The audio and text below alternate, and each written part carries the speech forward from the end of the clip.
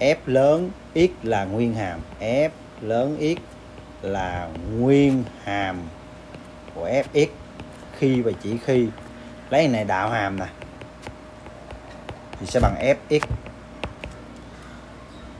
Được chưa? Nó kêu là điểm cực đặc cực trị điểm cực trị của hàm số f lớn x nha. Của f lớn x á, cẩn thận thì bước 1 tập xác định bước 2 đạo hàm đi. F lớn x, đạo hàm thì bằng gì? Fx chốt chưa? Bằng 2019 mũ x.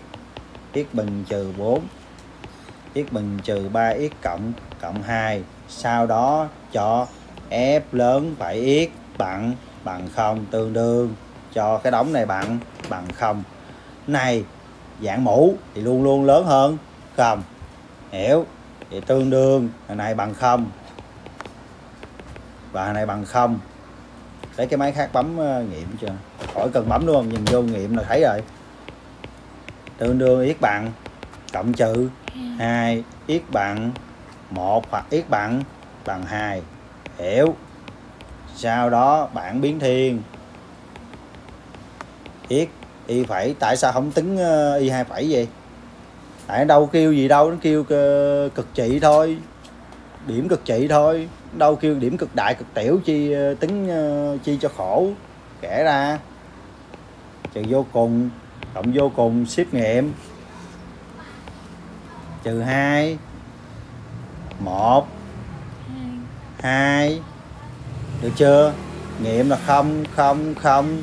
Rồi muốn biết này số âm hay số dương thì lấy giá trị trừ trừ 3 bấm máy tính. Này lấy giá trị là trừ 1 này lấy giá trị là 3 phần 2 này lấy giá trị là 3 bấm đi bấm cái đề y chang đúng không? Rồi bấm con đó.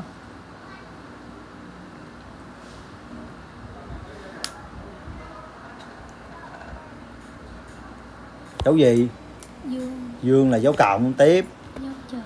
Dấu ê có bấm chưa? Bấm bấm đi dấu gì? Trừ tiếp. 3 phần 2 dấu cộng. Tiếp bấm.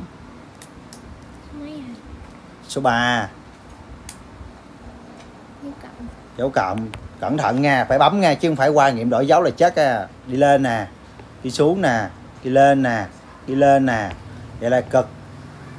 Cực. Cực đại đây cực. Tiểu đây có không không, được chưa?